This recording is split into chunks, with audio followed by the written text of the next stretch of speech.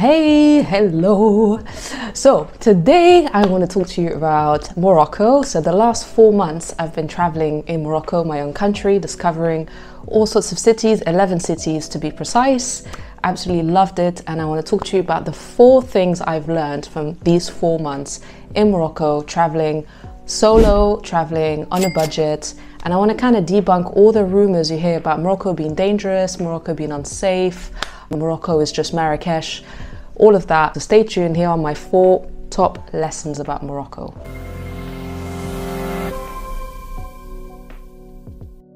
So, number one, Morocco is not just Marrakesh. I hear so many people, a lot of my friends here in the UK, everywhere, when I say I'm from Morocco, they're like, oh my god, yes, I've been to Marrakesh. That's great. Marrakesh is a wonderful place. I love it, and it's a great starting point for any journey because it's right in the middle and you've got a bit of everything but I call it the marketing department of Morocco, as in it's the shiny kind of thing that you show to tourists, everyone to come. When you dig deep, Morocco is actually so vast, and I actually divide it into four different countries, right? So you've got the red earth of Marrakesh, you've got the mountains around it, and then you've got the north of Morocco, which is mountains, rivers, Tangier, which got the ocean and the Mediterranean Sea, Chefchaouen, this incredible blue city nestled on the top of the mountains. It's just absolutely incredible. So I spent two weeks in the north of Morocco. I had never been there. And seriously, I felt like I was in another place. Uh, it felt like Europe but you still had these roots in Africa. It's just gorgeous. And then you've got the south, the, the deep south, and then the sea, for people who love surfing, that's a whole other vibe. You've got these little fishermen villages, uh, just absolutely gorgeous.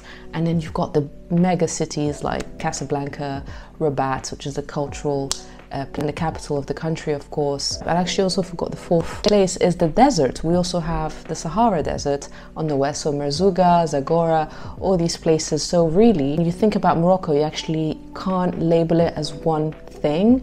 It's not just tagine and Marrakesh and eating just this kind of food. As you dig in, go to these four different areas, you'll see that each area has its own unique flavor, and that's what makes this country so rich and diverse. And as the King Hassan II famously said, it's a country with its roots, it's like a tree, its roots in Africa and its leaves in Europe. So you've got this wonderful mix and blend of African culture and European influence, and that's why each city has a different flavor, so unique. Essaouira is a place, it's actually my favorite city of all these 11 cities. Essaouira is a place that I actually adore because it's got Portuguese, French influence, Jewish, Berber, uh, just got so much in this little tiny town and it's overlooking the sea and it's just beautiful. Number two. So people fascinate me and especially in Morocco. So this is a this is a bit of a weird one because each person will have a, their own experience with people, but generally the culture as a moroccan as well i can tell you we are very very welcoming.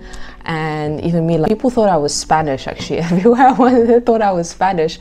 But even with that not knowing that i was moroccan i got the warmest welcome everywhere i went.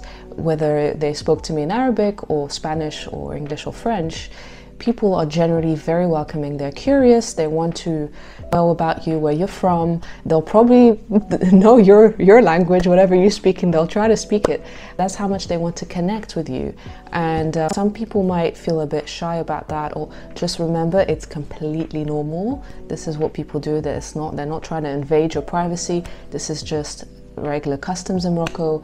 We love to welcome people, we want to find out about them, and we want to share our own culture. So I think that's a very positive vibe that the Moroccans have.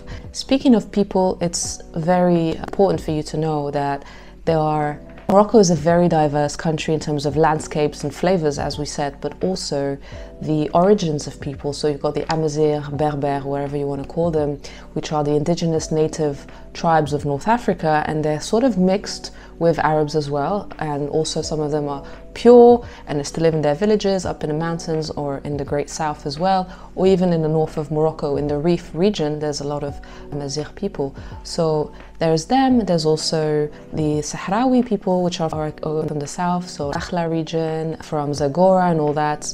There's also the city people, so a bit more modern. So, so, yeah, you've got a bit of everything, all sorts of colors and shapes and different hairstyles, and that's what makes Moroccan people wonderful. However, not careful with your cameras, that's what I encountered the most. And luckily, I was using a very small camera, so it was quite discreet. But I also made sure to always ask before I film or if you take pictures with your phone, just make sure that person is comfortable with that because there are a bit of uh, religious codes and conducts there. You can't really just film in a mosque if someone is praying. These little things there, but it's just common sense. Number three, solo travel. That's a big one. And solo traveling as a woman, again with the safety issues. Personally, I believe that anything you do with the right attitude, with the right approach, will be fine. So I was completely fine, hence I'm here today. I did get a little few comments here and there. Where's your husband? Or, again, this is not something to take personally, it's just part of the culture. People are used to seeing family units. Although there are so many solo female travelers I've met, especially in Chefchaouen, Marrakesh, Tangier, women from all around the world, and I've met some incredible people like that actually, staying in hostels and all. So if you decide to go solo traveling, you will meet other solo travelers and you will see that it's completely tailored for you, it's very safe. Obviously, if you go off-road alone, then that you might risk it, but that's anywhere around the world. You wouldn't just take a car and go off-road. But if you were, let's say, between Marrakesh and the desert in that road with all the Berber villages, you're still very, very safe because it's such a big community feeling there. And if they see someone alone, man or woman, somewhere someone is going to try to help you and, and just make sure that you're going the right place or if you need any help. So, generally, I think the safety for women is really, really nice. I would just say dress accordingly. In Casablanca, it's very modern, so it's okay to dress for a nightlife or a party. If you're with the right circle, you can dress however you want. If you're in a more traditional setting, more conservative, you will feel it again. It's just about feeling your environment and dressing accordingly. So I didn't have a, a car in this uh, 11 city tour during four months. I was just using taxis and uh, the bus. The bus is actually really good. There's two main companies, CTM and uh, Supratour, and they go from the major cities, so Chefchaouen to Casablanca, and I was taking them alone. Again, I was with fellow tourists, uh, fellow travelers, even Moroccan local people, uh, very safe. Or you can even do guided tours. So the previous year I'd done a, a guided tour where it was just 100% local, which was amazing. And there was people from all ages, uh, from mothers with their sons to women like me who just wanted to explore their country. So you've got that option as well. And that is also very safe. Even if you're the only one not speaking Arabic, you'll probably be taken care of. All right, and last but not least, number four, my fourth most valuable lesson actually in Morocco is to not take anything personally. And that is from even more than these four months, uh, having been going to Morocco since I'm a child every holiday. So I've lived in the UK all my life, but I've gone to Morocco every holiday and I got to know the culture through my family, cousins, and everything. And they love to tease. Yes, my cousins actually really prepared me for the teasing, for the jokes. And again, it's part of the customs, it's part of the culture. Don't take anything personally in Morocco. What I tend to do is just appreciate the environment where I am for what it's for what it is. I pick. It's about your mindset, really. It's about picking the things that you feel really positive about and just focusing on those.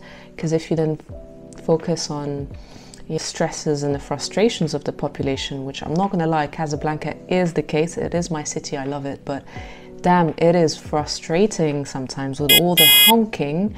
It is a very, very hard hit on your nervous system. So, if you're constantly affected by that, then you're not going to survive.